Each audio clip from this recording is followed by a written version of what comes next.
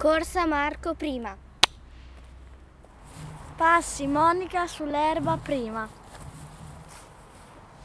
Io mi ricordo di un sogno che ho fatto più o meno un anno fa. Ehm, era una sfida.